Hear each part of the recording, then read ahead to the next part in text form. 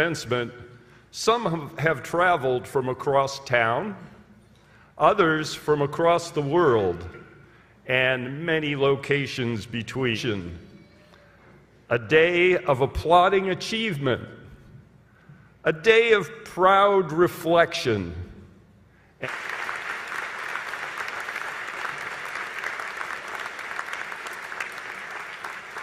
Our first generation graduates are wearing a special silver cord as well with their regalia.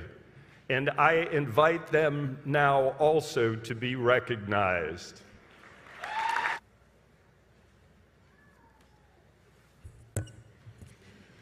Well, all I can say is,